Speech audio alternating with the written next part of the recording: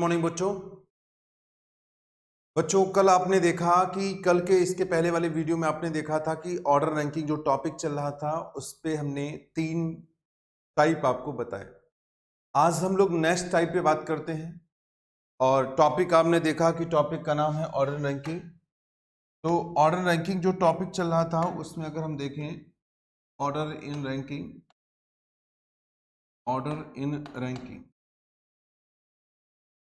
अब उसमें हम टाइप फोर की बात करेंगे। और अगर हम बच्चों क्रम निर्धारण टॉपिक जो है, अगर उसमें हम टाइप फोर की बात करें टाइप फोर पे इस तरीके से प्रश्न बनता है। जैसे क्वेश्चन ये दिया जाएगा, एक पंक्ति में, एक पंक्ति में में राम का स्थान, एक पंक्ति में राम का स्थान, राम का स्थान बाएँ से बाएँ से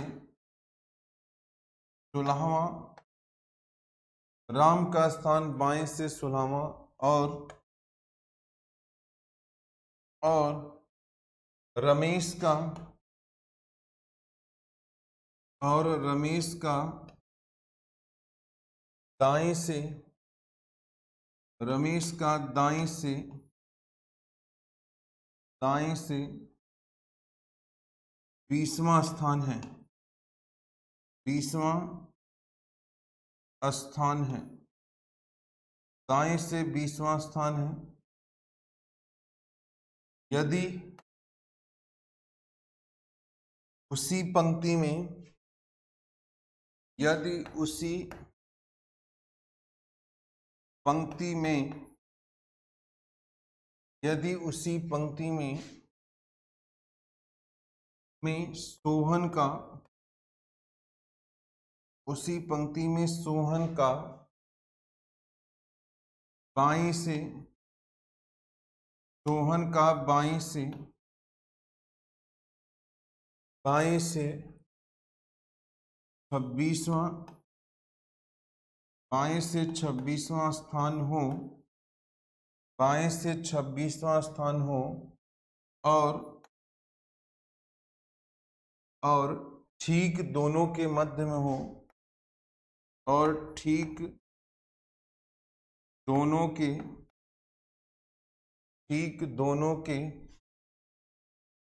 मध्य में हो मध्य में हो, ठीक दोनों के मध्य में हो तो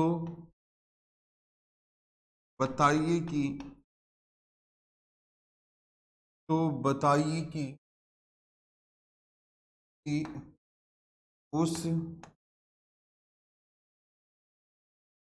पंक्ति में, बताइए कि उस पंक्ति में कुल कितने, बताइए कि उस पंक्ति में कुल कितने लड़के हैं? कुल कितने लड़के हैं? तो बच्चों, आपने देखा कि जो प्रश्न है हमारा इस तरीके से पूछा जाता है।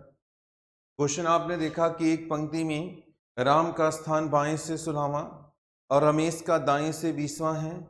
कह रहा है उसी पंक्ति में सुमन का बाएँ से छब्बीसवां स्थान हो। और ठीक दोनों के मध्य में हो तो बताना है कि उस पंक्ति में कुल कितने लड़के हैं। तो आइए हम लोग देखते हैं इस क्वेश्चन को कैसे करते हैं। अगर हम सभी लोग ध्यान से देखें, समझें, अगर हम इसके सोल्यूशन की बात करते हैं बच्चों तो आपने देखा कि बाएँ से बोला था और यहाँ से बोला जा रहा है, किसका बोला जा रहा है? सोलह नंबर पे है। यहाँ से सोलह नंबर पे है और इस लड़के का नाम राम है। और दूसरा देखा जाए तो दूसरा आपने देखा कि यहाँ से दिया हुआ है दाएँ से, और दाएँ से किसका है? रमेश का है, और आपने देखा कि रमेश का कितना है? बीस फिर उसी पंक्ति में कह रहा है कि सोहन का बाएँ से छब्बीसवां होगा। अब आप देख रहे हैं बाएँ से छब्बीसवां होने का मतलब है कि आप देख रहे हैं ये बाएँ से सोलह है। छब्बीस का मतलब होता है बच्चों इससे आगे जाएगा। लेकिन एक कंडीशन इसने और कहा है कि ठीक दोनों के मध्य में। अगर हम इसको और आगे ले जाएँगे तो मध्य नहीं आ सकता। इसलिए कन्फर्म है कि ठीक दोनों के मध्य में यहाँ होना चाहिए। यानी ये हो गया कौन? सोहन हो जाएगा। पूरा क्वेश्चन आप समझ सकते हैं, देख लीजिए, यही प्रश्न है यहाँ पर। आपने ये देखा, या तो कहिए मैं यहाँ पर आपको नेक्स्ट पेज में अलग से बना के दिखा देता हूँ।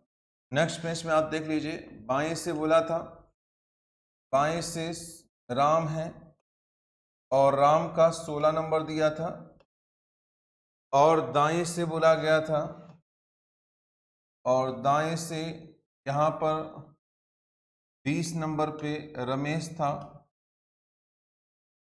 और आपने ये देखा कि बाएँ से छब्बीस बताया गया था, छब्बीस नंबर पे सोहन था। इतना क्वेश्चन में आपको दिया है। अब आइए, इतना जानकारी दिया है, कुल पूछ रहा है। तो अगर हम कुल की बात करें, आपने देखा कि यहाँ से लेकर यहाँ तक अगर देखा जाए तो यहाँ से यहाँ तक टोटल जो है 26 हमें पता है। और यहाँ से लेकर अगर हम यहाँ तक देख रहे हैं तो 20 है। अगर यही बीच वाला पता चल जाता तो हम कुल निकाल सकते थे। तो बच्चों, इस टाइप के क्वेश्चन में या तो दो लड़कों का प्रारंभ से देता है या तो दो लड़कों का अंत से देता है। तो जैसे आप देख रहे हैं कि यहाँ पर दो लड़कों का प्रारंभ से दिया है, राम और शोहन का। तो राम और शोहन के मध्य में हम निकाल लें कितने हैं? यानी अगर हम पहले यहाँ मध्य निकालना चाहें तो अगर हम मध्य निकालना चाहें तो आपने देखा कि 26 माइनस सोलह माइनस एक। छब्बीस में सोलह गया, दस दस में से गया, नौ। यानी आपने ये देखा कि इसके मध्य में नौ लड़के हैं। आपने ये देखा कि इसके मध्य में कितने लड़के हैं? नौ लड़के हैं। अब हमें कुल निकालना है। तो कुल हम इस तरीके से निकाल सकते हैं कि यहाँ से लेकर यहाँ तक टोटल छब्बीस लड़के हैं। और यहाँ से लेकर यहाँ तक अगर मध्य देखा जाए बच्चों तो ये नौ बच्चे हो गए। क्यों नौ हो गए? क्योंकि सोहन दोनों के ठीक मध्य में था, ठीक मध्य में तभी होगा जब इनके बीच में लड़कों की संख्या और इसके बीच में लड़कों की संख्या सेम हो। तो आपने ये बच्चों देखा कि जो सोहन था, वो राम और रमेश के ठीक मध्य में बैठा था। तो ठीक मध्य में बैठने का मतलब यही होता है कि राम और सोहन के बीच में लड़कों की संख्या और रमेश और सोहन के बीच में लड़कों की संख्या क्या होगी? समान होनी चाहिए। तो आपने देखा कि राम और रमेश सोहन का प्रारंभ से दिया था। राम और सोहन के मध्य निकाला तो नौ लड़के थे। अगर इनके बीच में नौ लड़के हैं तो यहाँ भी नौ हैं तो यहाँ भी नौ होंगे। तो आपने देखा कुल निकालना था तो यहाँ से लेकर यहाँ तक छब्बीस आया था। यहाँ से यहाँ तक मध्य में नौ आया और यहाँ से लेकर यहाँ तक आप देख रहे हैं, दिया ही है। यहाँ से लेकर यहाँ तक टोटल कितना दिया है? बीस दिया है। अब हम तीनों को जोड़ लेते हैं। अगर जोड़ा जाए तो नौ छः कितना हो गया? पंद्रह हो गया। अब आप देख रहे हैं तीन तीन और दो, पाँच। यानी आपने देखा कुल लड़कों की संख्या टोटल कितनी हो गई? फिफ्टी फाइव हो जाएगी। यहाँ पर कुल लड़कों की जो संख्या है, कुल लड़कों की संख्या आपने देखा कितना हो गया? फिफ्टी फाइव हो जाएगा। ठीक है? एक, दो क्वेश्चन कर लेंगे, एकदम अच्छे से समझ में आ जाएगा, कोई दिक्कत नहीं है यहाँ पर। आइए नेक्स्ट क्वेश्चन की बात कर लेते हैं, अगले क्वेश्चन की बात करें। अगला क्वेश्चन ये है कि एक पंक्ति में एक एक पंक्ति में में मोहन का, एक पंक्ति में मोहन का स्थान, एक पंक्ति में मोहन का स्थान, बाएँ से बाई से ग्यारहवा, मोहन का स्थान बाई से ग्यारहवा, और और रजत का, और रजत का दाई से, और रजत का दाई से दाई से सत्रहवा स्थान है। रजत का दाएँ से सत्रहवा स्थान है। दाएँ से सत्रहवा स्थान है। यदि उसी पंक्ति में, यदि उसी पंक्ति में, यदि उसी पंक्ति में कमल का यदि उसी पंक्ति में कमल का कमल का बाएँ से, कमल का बाएँ से बाएँ से सत्ताईसवां स्थान हो, सत्ताईसवां स्थान हो तो बताइए कि तो बताइए कि उस पंक्ति में उस पंक्ति में कुल उस पंक्ति में कुल कितने कुल कितने बच्चे हैं?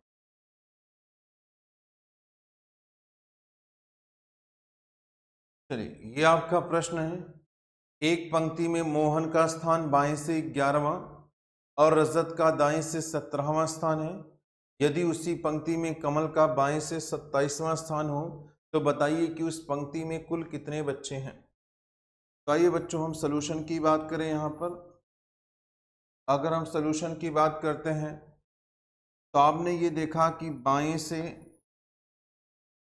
बाएँ से देखा जाए तो ग्यारह नंबर है और इस ग्यारह नंबर पे कौन है? मोहन है। मोहन हो जाएगा। फिर इस, इसके बाद देखा जाए तो दाएँ से है और दाएँ से देखते हैं किसका है? तो दाएँ से यहाँ पर है रजत का सत्रह नंबर। रजत का। फिर इसके बाद देखिए कमल का बाएँ से सत्ताईसवां बोला है। बाएँ से सत्ताईसवां है, ट्वेंटी सेवन है। नाम है किसका? कमल। अब इतनी जानकारी आपको पूरे क्वेश्चन में दी गई है।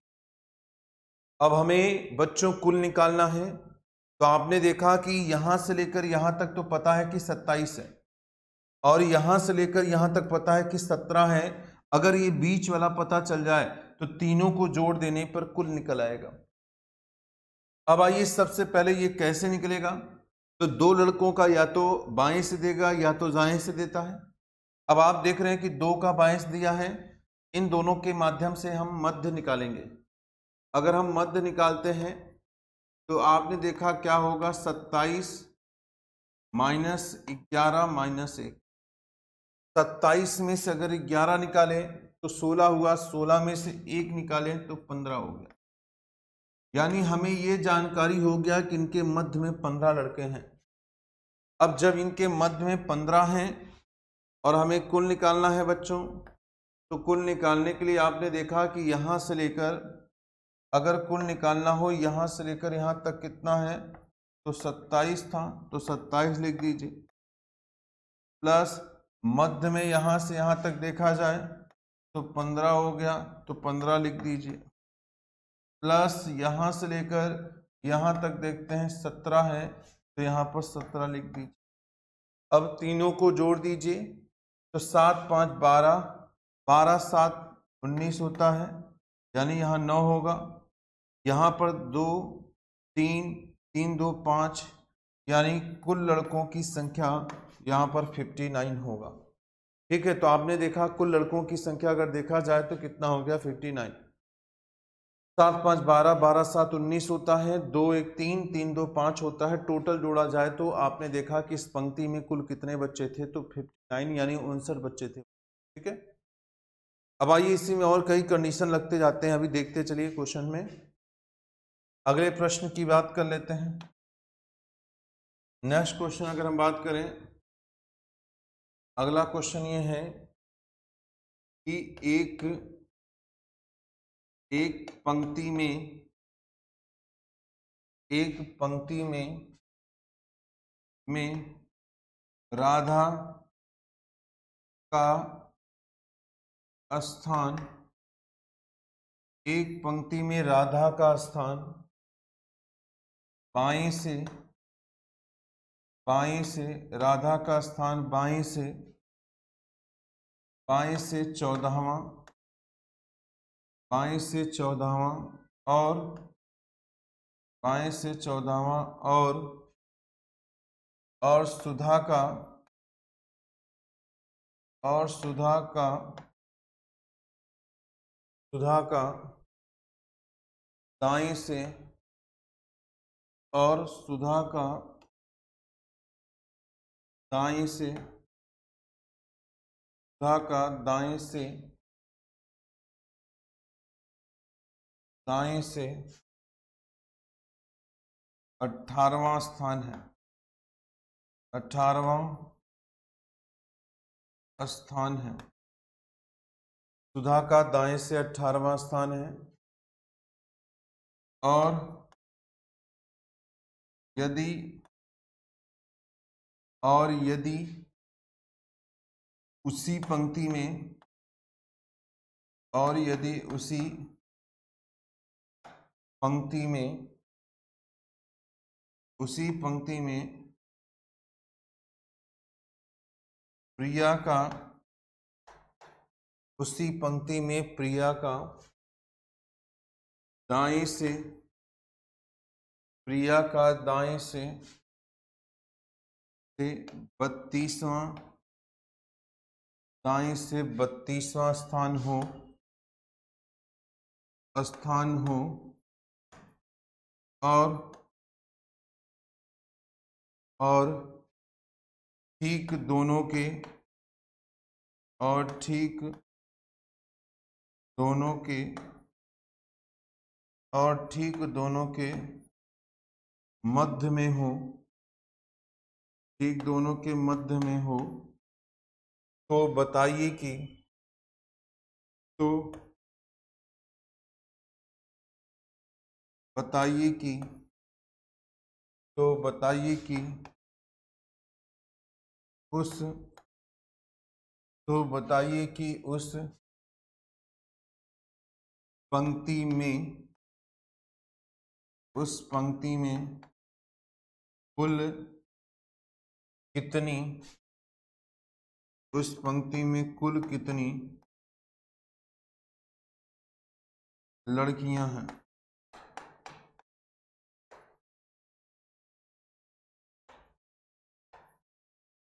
चलिए, ध्यान से देखते हैं, समझते हैं चीज़ों को। एक पंक्ति में राधा का स्थान बाएँ से चौदह दिया है और सुधा का दाएँ से अट्ठारह है। और ये कह रहा है, यदि उसी पंक्ति में प्रिया का दाएँ से बत्तीसवां स्थान हो और ठीक दोनों के मध्य में हो तो बताना है कि उस पंक्ति में लड़कियों की संख्या कितनी है।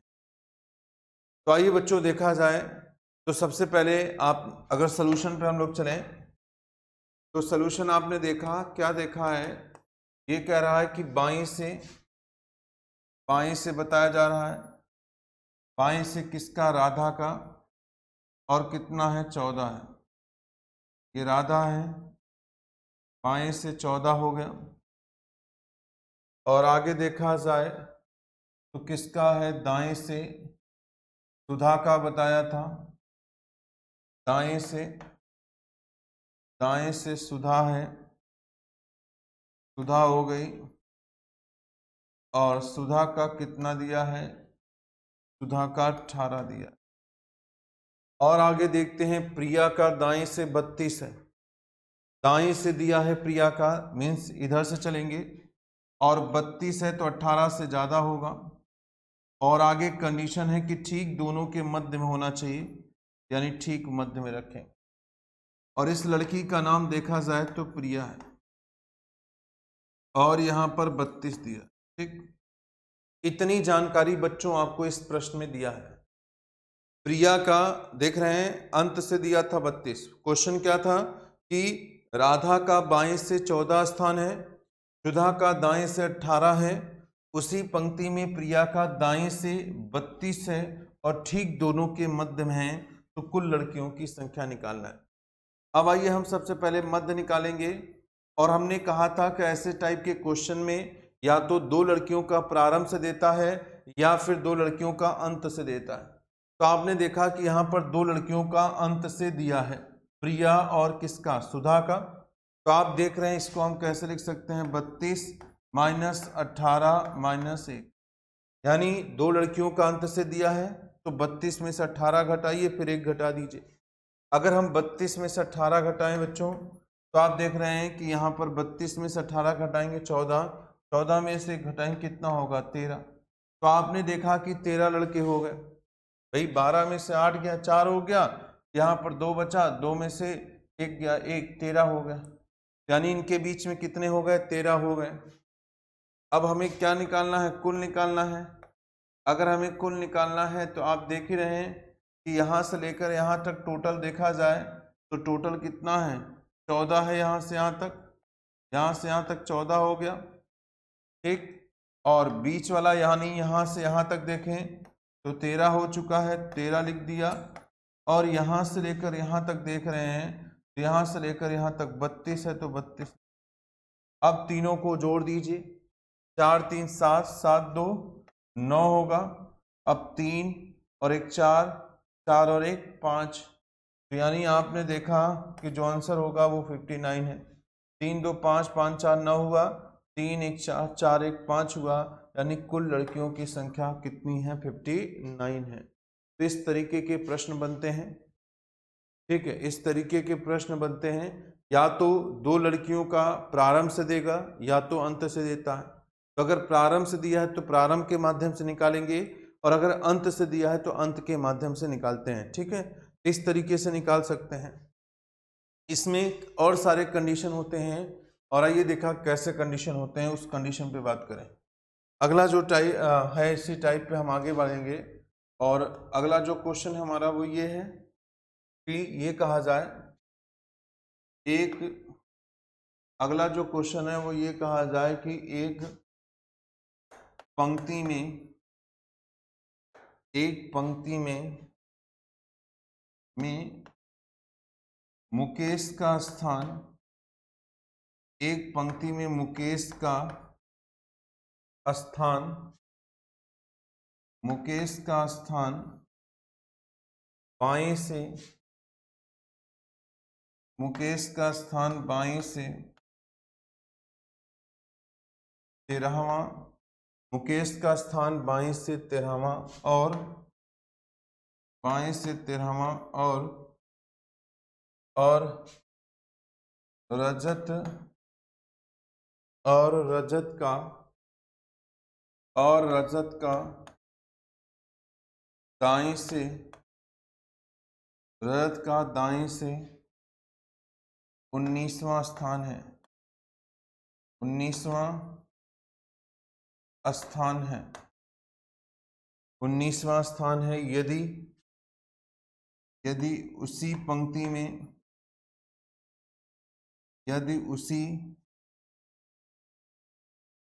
पंक्ति में, यदि उसी पंक्ति में उसी पंक्ति में सोहन, यदि उसी पंक्ति में सोहन का सोहन का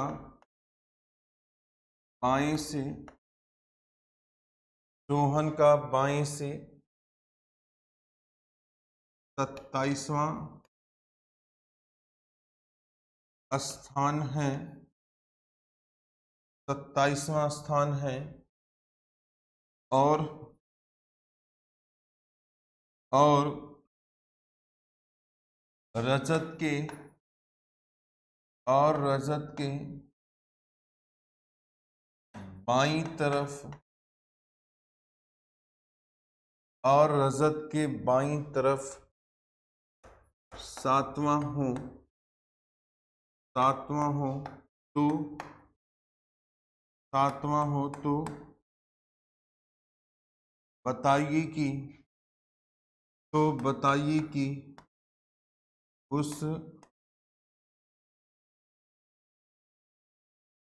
पंक्ति में, उस पंक्ति में कुल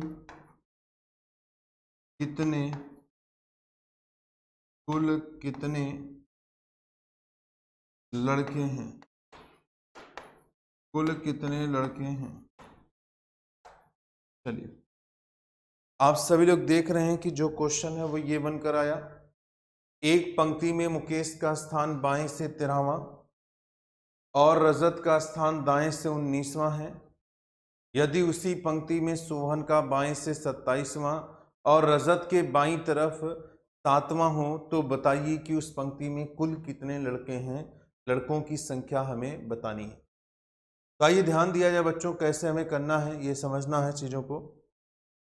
आइए हम लोग सबसे पहले देखते हैं, और अगर हम सोल्यूशन की बात करें यहाँ पर तो आपने देखा कि सोल्यूशन की अगर बात किया जाए तो मेकेश का बाएँ से तेरह बोला है। बाएँ से तेरह बोला है, और इसका लड़के का नाम मुकेश है। फिर इसके बाद आपने ये देखा कि रजत का दाएँ से बोला है। रजत का दाएँ से बोला है। और दाएँ से कितना है? उन्नीसवा है। कह रहा है कि उसी पंक्ति में बाईस से सत्ताईसवां है, सोहन। तो बाईस से सत्ताईसवां का मतलब तेरह से तो अधिक होना ही चाहिए। चलिए तेरह से अधिक कर लेते हैं। लेकिन ये बोला है कि रजत के बाई तरफ़ कितना है? सातवां। तो रजत का बायां देखा जाए तो रजत का बायां इधर ही होगा। भाई, आपका जो बायां होगा, वही क्वेश्चन का बायां होता है। तो रजत का बायां इधर ही होगा क्योंकि आपका इधर है। यानी बाई, यानी ये लड़का यहाँ से लेकर यहाँ तक सत्ताईस कहा गया था। और इस लड़के का जो नाम था, वो नाम था सोहन। और ये कहा गया है कि रजत के बाई तरफ़ सातवां है। यानी रजत के बाई तरफ़ सातवां दिया। अब आइए इतनी जानकारी है और हमें कुल निकालना है। तो बच्चों, अगर हम ध्यान से देखें, सभी लोग समझें तो जैसे आप देख रहे हैं कि इस लड़के का स्थान यहाँ से पता है कि सत्ताईस है। और इसी लड़के का स्थान हम दाएँ से भी निकाल सकते हैं। प्रारंभ से सत्ताईस गिवन है बाएँ से सत्ताईस गिवन है, हमें दाएँ से निकालना है। तो आपने देखा कि यहाँ से लेकर 19 है और सात बढ़ रहा है, यानी प्लस करना होगा। तो यहाँ से यहाँ तक 19 था, सात और बढ़ गया। अगर 19 में सात जोड़ देते हैं तो आपने देखा 26 हो गया। यानी आपने देखा कि 19 यहाँ तक था, सात और बढ़ गया। यानी यहाँ से लेकर यहाँ तक दूरी जो है 19 सात जोड़ देते हैं तो 19 और सात 26 हो गई। तो आपने ये देखा कि इस लड़के का स्थान प्रारंभ से भी पता है और अंत से भी पता है। ये टाइप वन हो चुका है और हमने आपको बताया था कुल निकालने के लिए क्या करते हैं। तो आपने देखा कि प्रारंभ से 27 दिया है, अंत से 26 दिया है, दोनों को जोड़कर एक घटा देना है।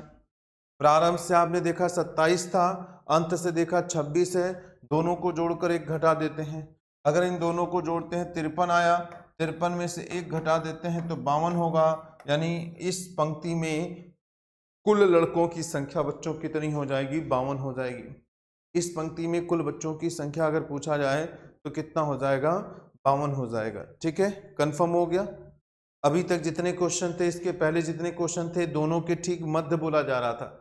अब यहाँ पर मध्य नहीं बोला है। रजत के बाई तरफ़ बोला है तो रजत एक लड़का है। आप खुद समझिए कि आप ही अगर यहाँ हैं तो आपके बाएँ साथ बोला था तो आपका बायां इधर होता है तो ऐसे ही यहाँ पर सात हो गया। तो आपने देखा कि यहाँ तक 19 था, सात बढ़ गया 19 सात 26 हो गया तो दाएँ से 26 था, बाएँ से कितना है 27 है तो एक लड़के का स्थान प्रारंभ से भी पता है, अंत से भी पता है तो दोनों को जोड़कर एक घटा दिया तो यानी इस पंक्ति में कुल लड़कों की संख्या हमें पता चल जाती है। तो आंसर आपने देखा कितना हो गया फिफ्टी। आइए आगे बढ़ते हैं, अगले क्वेश्चन की बात कर लें। इसी में कंडीशन देख रहे हैं, बदलते जाएगा। अगला क्वेश्चन ये है, एक पंक्ति में एक पंक्ति में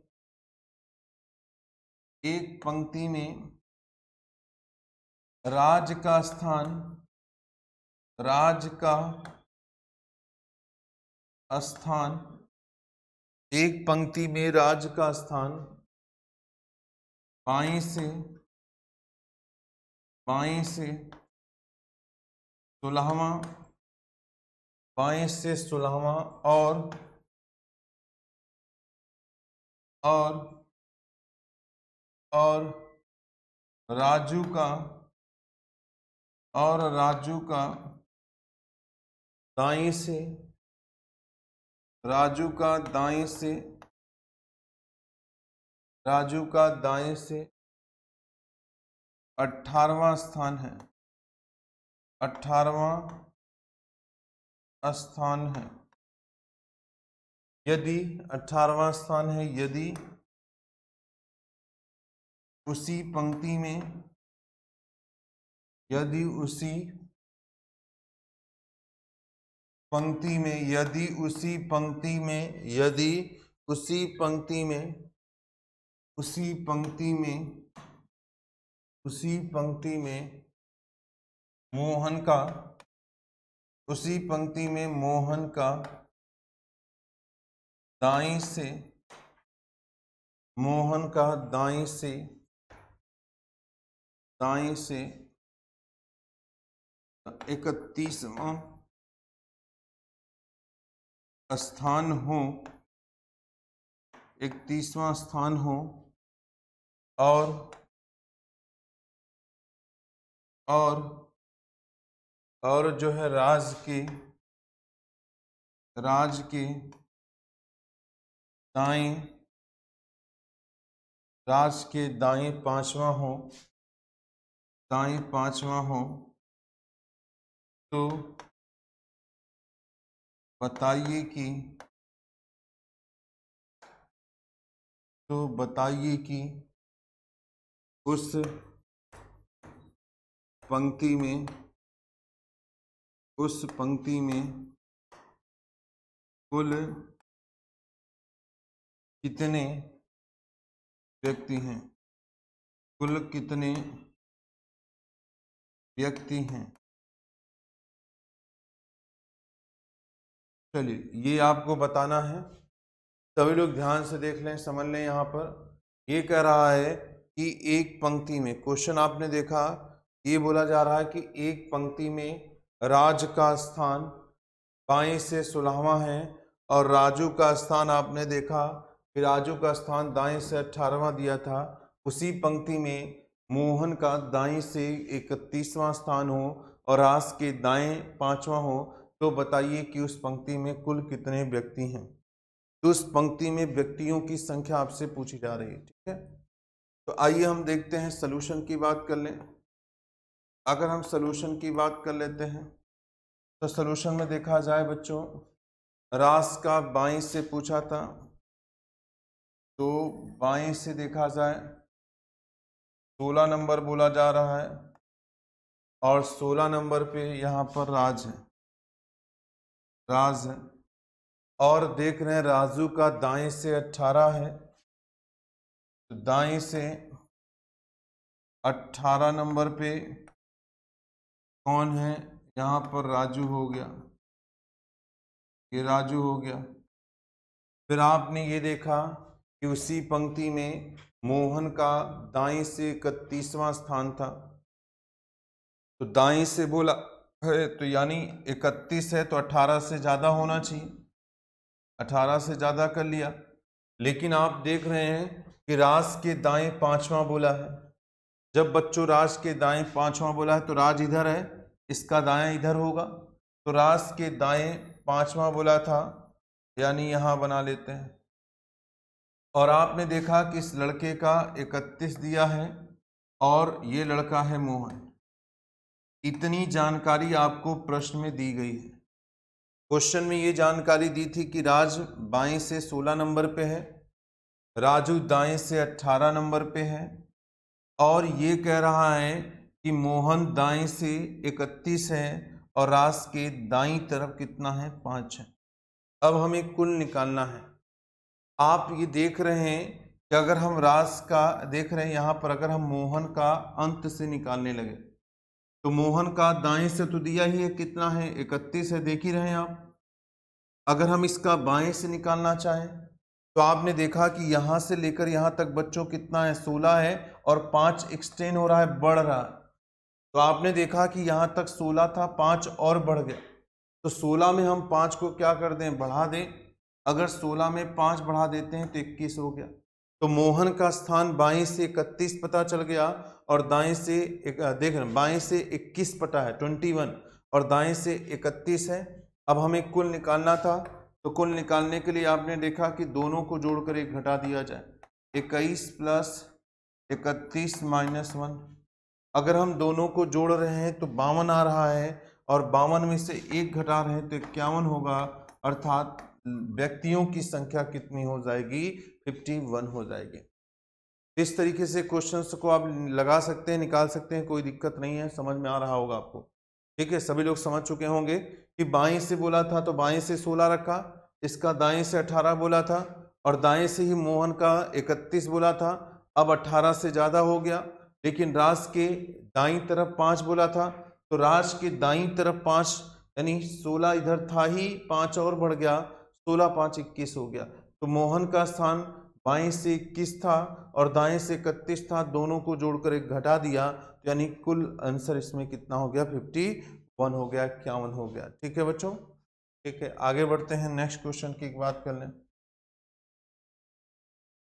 अगला जो क्वेश्चन है हमारा इस तरीके से होगा। अगर नेक्स्ट क्वेश्चन की बात करें तो ये लिखा है, एक एक पंक्ति में एक पंक्ति में, अगला है एक पंक्ति में, उमेश का स्थान, उमेश का स्थान, एक पंक्ति में उमेश का स्थान, बाएँ से बाएँ से चौदहवा बाईस से चौदहवा और और कमल का, और कमल का, और कमल का दाएँ से, और कमल का दाएँ से दाएँ से अठारवा स्थान है। कमल का दाएँ से अठारवा स्थान है। कमल का दाएँ से अठारवा स्थान है। यदि यदि उसी पंक्ति में,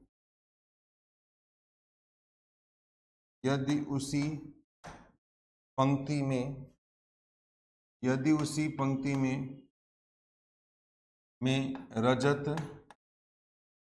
का उसी पंक्ति में रजत का स्थान, रजत का स्थान, बाएँ से, रजत का स्थान बाएँ से,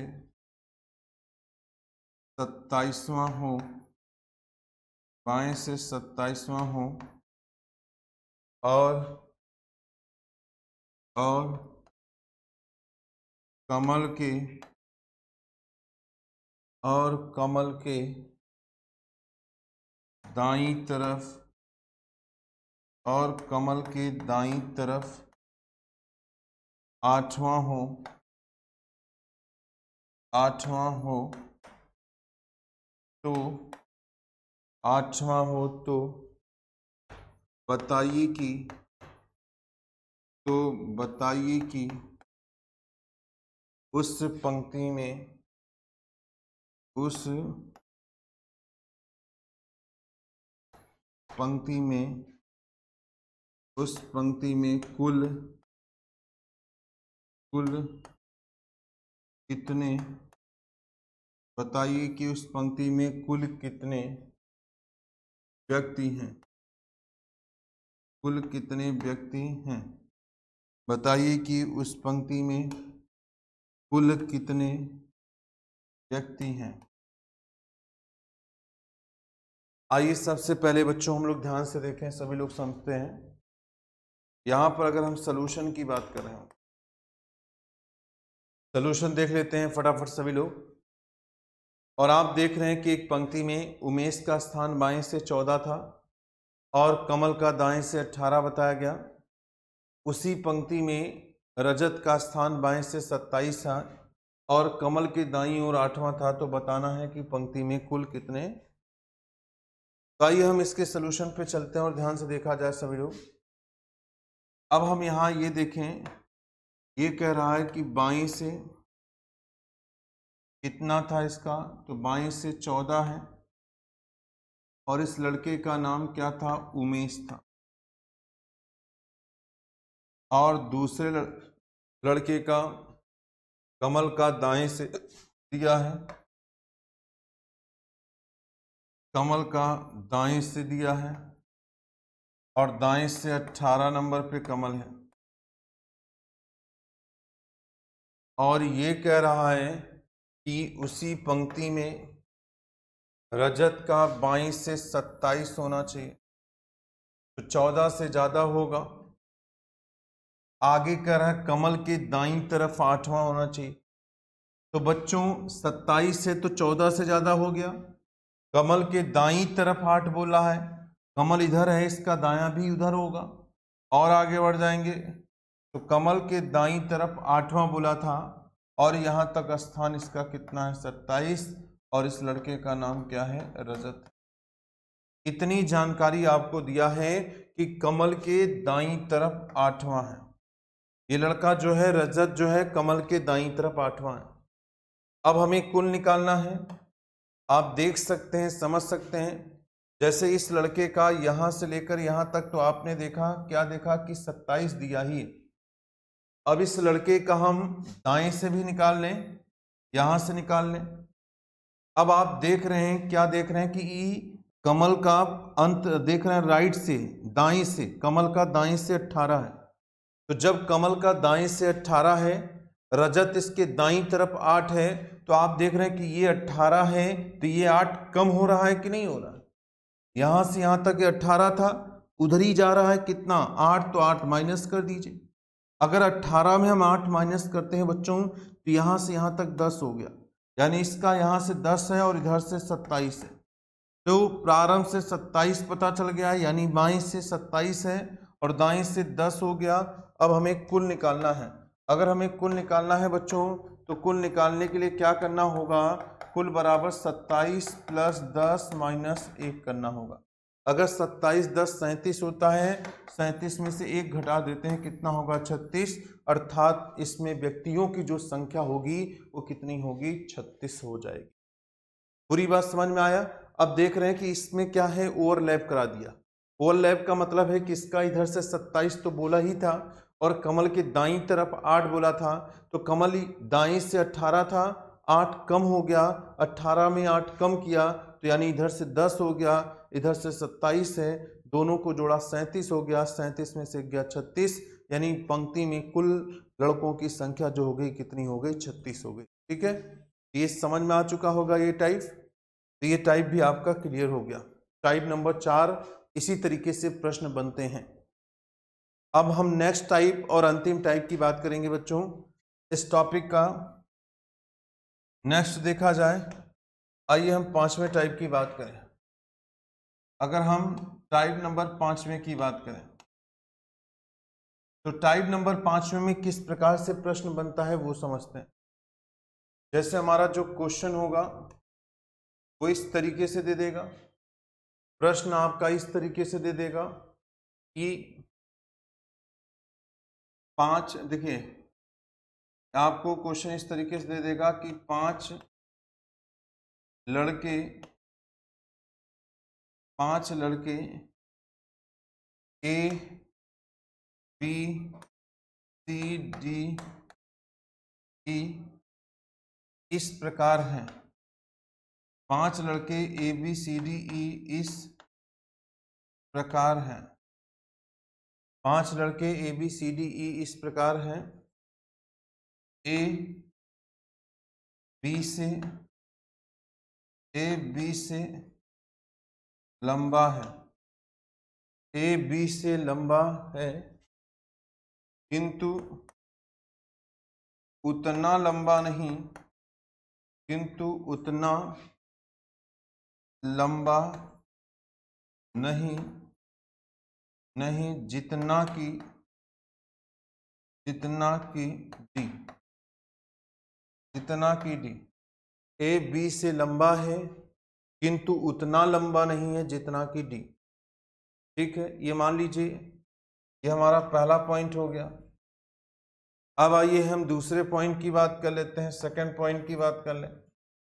सेकंड पॉइंट हमारा ये कह रहा है कि सी जो है, डी से सी डी से छोटा है छोटा है, किंतु सी, डी से छोटा है, किंतु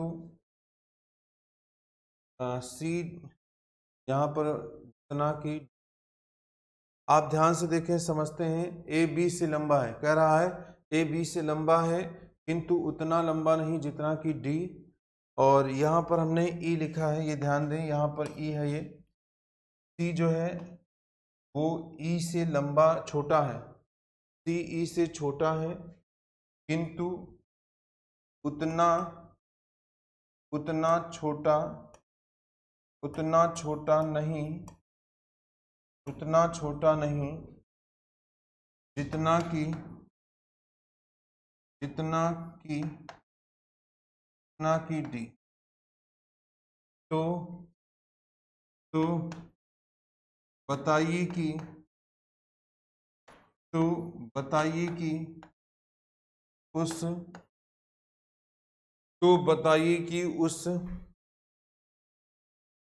पंक्ति में तो बताइए कि उस पंक्ति में में कुल, उस पंक्ति में कुल कितने कुल कितने, नहीं तो बताइए कि उस पंक्ति में कुल नहीं पूछना।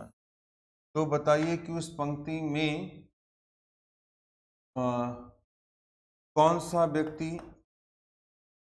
कौन सा व्यक्ति दो व्यक्ति से लंबा दो से लंबा दो से लंबा और और शेष व्यक्तियों से छोटा है। शेष व्यक्तियों से, शेष व्यक्तियों से छोटा शेष व्यक्तियों से छोटा है। शेष व्यक्तियों से छोटा है, ये आपको निकालना है। ठीक है, शेष व्यक्तियों से छोटा है, ये बताना है। तो यहाँ आप समझ सकते हैं, क्वेश्चन क्या दिया है बच्चों, पूरी बात ध्यान से देखें। कह रहा है कि पाँच लड़के ए बी सी डी ई इस प्रकार है। ए बी से लंबा है, किंतु उतना लंबा नहीं जितना कि डी सी ई से छोटा है, किंतु उतना छोटा नहीं जितना कि डी तो बताइए कि उस पंक्ति में कौन सा व्यक्ति दो से लंबा और शेष व्यक्तियों से छोटा है, ये हमें आपको बताना है। तो आइए हम लोग ध्यान से देखते हैं, समझते हैं। सबसे पहले कह रहा है ए बी से लंबा है। हम बी बना लेते हैं, बच्चों। बी से लंबा। लंबा, यानी इसकी हाइट ज़्यादा हो जाएगी तो ए को ऊपर रख देते हैं। कह रहा है कि ए बी से लंबा है, किंतु उतना लंबा नहीं जितना कि डी यानी ए बी से तो लंबा हो चुका है, परंतु अभी तक उतना लंबा नहीं जितना पहले से कौन है? डी है। तो ए बी से लंबा है, किंतु उतना लंबा नहीं जितना कि डी अर्थात डी से छोटा हो जाएगा। ये हमारा पहला पॉइंट हो जाएगा। अगर हम दूसरे पॉइंट की बात करें बच्चों तो लिखा है सी ई से छोटा है। तो सी जो है, वो हमारा किससे? ई से छोटा हो गया। तो सी ई से छोटा है, किंतु उतना छोटा नहीं जितना कि डी यानी सी ई से छोटा है, परंतु अभी उतना छोटा नहीं जितना कि डी अर्थात डी सी से छोटा हो गया। ये दो पॉइंट हो गए। अब आप देख रहे हैं कि दोनों पॉइंट को अगर हम जोड़ दें तो दोनों पॉइंट में बच्चों, क्या कॉमन है? डी कॉमन है। अब जब दोनों पॉइंट में डी कॉमन है तो डी को यानी इस पॉइंट को देख लिया जाए। अब डी से छोटा कौन था? ए था। ए से छोटा कौन था? बी था। और आगे देखते हैं तो डी से बड़ा कौन है? सी है। और डी से सी से बड़ा कौन है? ई e है। तो पाँच लोग थे। पाँच लोग इस क्रम में आ गए। पहला जो सीक्वेंस था, ये था। दूसरा सीक्वेंस ये था। दोनों में कॉमन डी था डी के माध्यम से जोड़ दिया पहले दूसरे को। तो आपने देखा कि डी से छोटा ए बी था तो डी से छोटा ए बी कर दिया और डी से बड़ा सी ई था तो डी से बड़ा सी ई कर दिया। अब ये हमारा सीक्वेंस है। क्वेश्चन में ये कह रहा है, कौन सा व्यक्ति दो से लंबा और शेष से छोटा है? तो यानी दो से लंबा देखा जाए तो और दो, शेष से छोटा बताया जा रहा है। तो दो से लंबा और शेष से छोटा कौन है? डी है। इसलिए इस क्वेश्चन का आंसर क्या होना चाहिए? डी होना चाहिए। तो आपने देखा कि इस प्रश्न का जो उत्तर आया, वो उत्तर क्या आया बच्चों? डी आया। तो इस तरीके से छोटे बड़े के आधार पे हम क्वेश्चंस को लगा लेते हैं। ठीक है, छोटा बड़ा के आधार पे हम क्वेश्चन को क्या कर लेते हैं? सेट कर लेते हैं, चीज़ों को सेट कर लेते हैं। और आगे आइए, एक क्वेश्चन इस तरीके से आता है। अगला जो क्वेश्चन है वो ये है। पाँच लड़के पाँच लड़के पाँच लड़के P Q R S T पाँच लड़के P Q R S T newspaper पढ़ते हैं। न्यूज़ पेपर पाँच पाँच लड़के A B C D E नहीं sorry A P Q R S T newspaper newspaper पढ़ते हैं। न्यूज़ पेपर पढ़ते हैं। पाँच लड़के P Q R S T newspaper पढ़ते हैं। जो इस प्रकार है, जो इस जो इस प्रकार है, जो इस प्रकार है ठीक है, पाँच लड़के न्यूज़पेपर पढ़ते हैं जो इस प्रकार है। चलिए, पहला पॉइंट देखा जाए। पी सबसे पी सबसे पहले सबसे पहले पढ़ने वाले व्यक्ति से सबसे पहले पढ़ने वाले पढ़ने वाले व्यक्ति से पेपर लेता है। व्यक्ति से पेपर पी सबसे पहले पढ़ने वाले व्यक्ति से पेपर लेता है। पेपर लेता है और और आर आर सबसे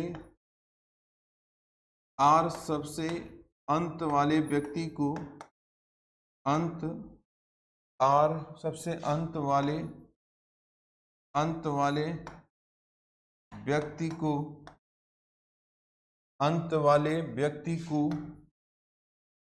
पेपर देता है। पेपर देता है। पेपर देता है। कह रहा है कि पी सबसे पहले पढ़ने वाले व्यक्ति से पेपर लेता है और आर सबसे अंत वाले व्यक्ति को पेपर देता है। दूसरा पॉइंट देखा जाए पी सबसे अंत में पी सबसे अंत में पेपर नहीं पढ़ता है। सबसे अंत में पेपर नहीं पढ़ता है।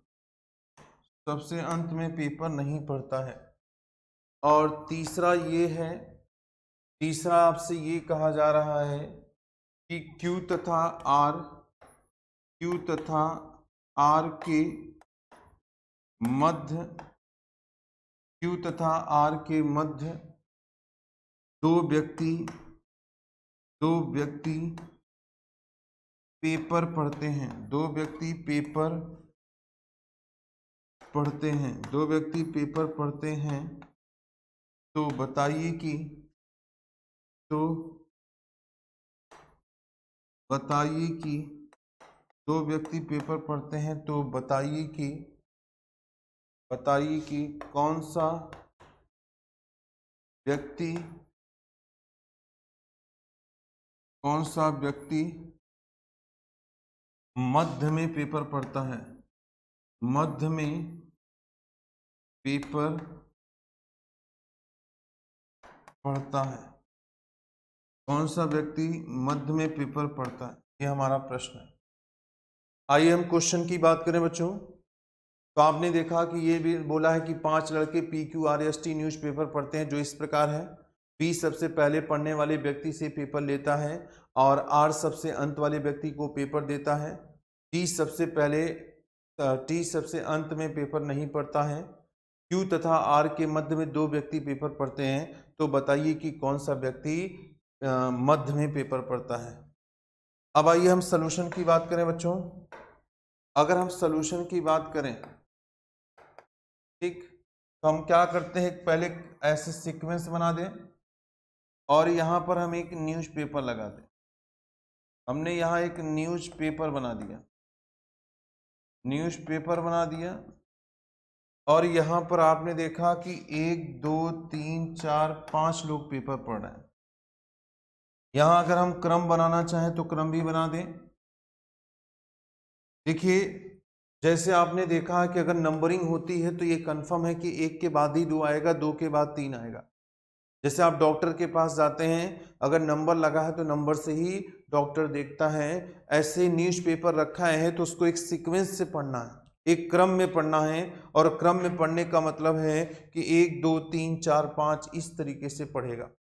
अब आप देख रहे हैं कि सबसे पहले ये कह रहा है, क्या कह रहा है कि पी सबसे पहले पढ़ने वाले व्यक्ति से पेपर लेता है। तो पहले वाले से लेने का मतलब है बच्चों कि अगर पहले वाले से ले रहा है, अर्थात पी जो है दूसरे स्थान पे पढ़ेगा। पी सबसे पहले पढ़ने वाले व्यक्ति से पेपर ले रहा है, अर्थात दूसरे स्थान पे पढ़ेगा। और आर सबसे अंत वाले को दे रहा है। अंत वाले को देने का मतलब है कि अंत से दूसरा होना चाहिए। यानी दूसरे नंबर पे होगा, पीछे से तभी वो लास्ट वाले को दे पाएगा। पी पहले वाले से ले रहा था और आर अंत वाले को दे रहा था। ये रहा आपका पहला पॉइंट दूसरा पॉइंट करा टी सबसे अंत में पेपर नहीं पढ़ता यानी टी यहाँ नहीं पढ़ेगा तो टी यहाँ भी पढ़ सकता है, यहाँ भी पढ़ सकता है। अभी छोड़ देते हैं इस पॉइंट को। तीसरा पॉइंट कह रहा है क्यू तथा आर के मध्य में दो व्यक्ति पढ़ते हैं। तो आपने देखा कि बच्चों आर इधर पढ़ रहा है। क्यू और आर के बीच में दो होगा। अगर हम क्यू यहाँ बनाएँगे तो दो नहीं हो पाएगा।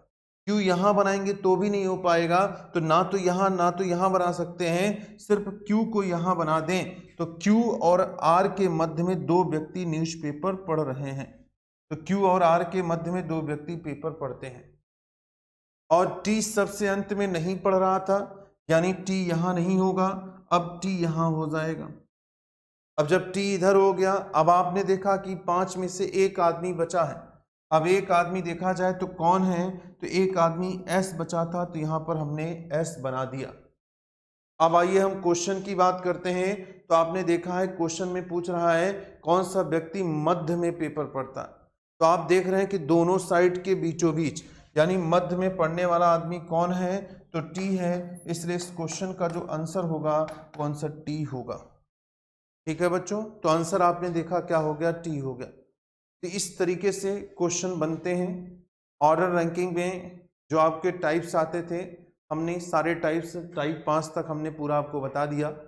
इसी पे आप प्रैक्टिस कर लीजिए। और मैंने पहले भी बताया था किसी किसी बुक में, किसी किसी बुक में ऑर्डर रैंकिंग और सीटिंग अरेंजमेंट साथ साथ दिया रहता है। और किसी में अलग अलग होता है। ठीक है? तो हमने पहले अलग पढ़ा दिया। ऑर्डर रैंकिंग से ऐसे क्वेश्चन बनते हैं। अब इसके आगे हम सीटिंग अरेंजमेंट के बारे में डिस्कस करेंगे। दोनों को हमने मिक्स नहीं किया है अलग अलग हमने पढ़ाया है। पहले हमने ऑर्डर रैंकिंग पढ़ा दिया। ऑर्डर रैंकिंग में इस तरीके से प्रश्न बनेंगे। अब इसके आगे वाले में आप देखेंगे कि हम सीटिंग अरेंजमेंट स्टार्ट करेंगे। ठीक है बच्चों? तो आज इतना ही आप इसको फटाफट लगा लीजिएगा। Thank you